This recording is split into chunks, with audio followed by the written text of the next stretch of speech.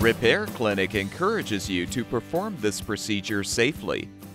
In this video, we will show one or more of these icons to alert you when to use caution. Before you replace the center burner valve in your range, first unplug the power cord and shut off the gas supply. Now lift off the three grates.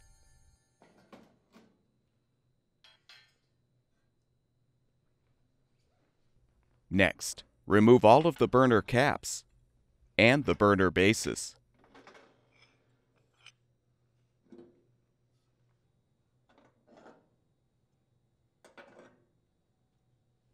Use a Phillips head screwdriver to unthread the 15 screws, securing the main top to the orifice holders.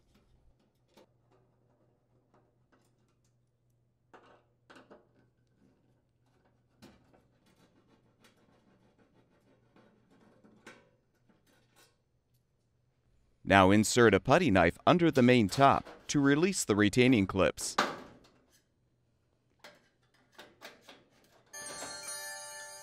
You can now fully remove the main top. Next, note the location of the burner control knobs, then remove them.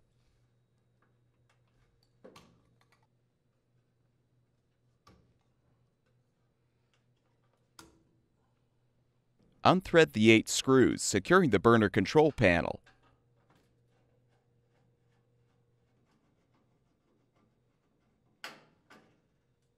You will need to open the oven door to access the lower screws.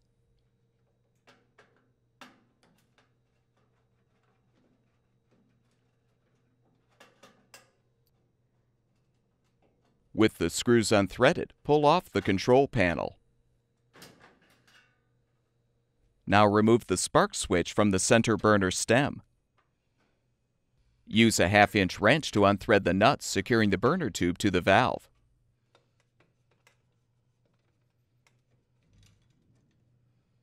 Use a quarter-inch socket to unthread the bolts securing the valve. Detach the old valve. Before you install the new burner valve, confirm that the gasket is intact. Now insert the valve into the manifold and replace the bolt to secure.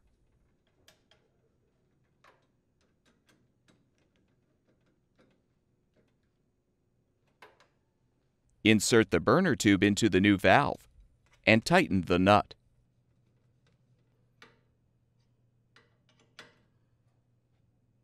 Align the spark switch on the valve stem and snap it into place.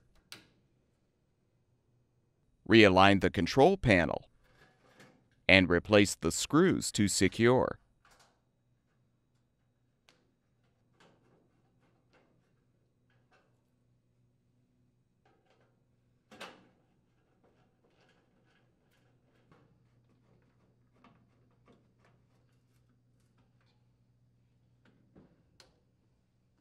Replace the burner control knobs on the appropriate stems.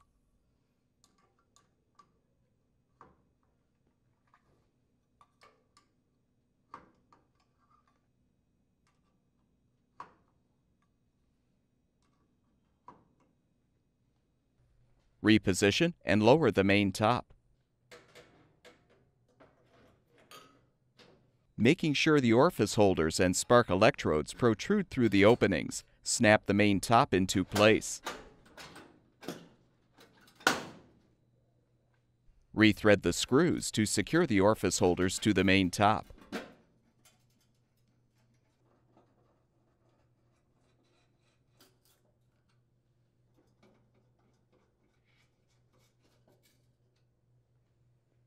Replace the burner bases, making sure the spark electrodes align with the holes.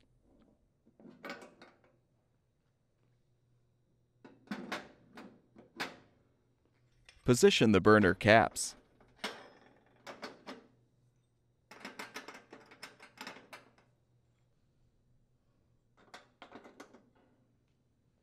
Replace the burner grates.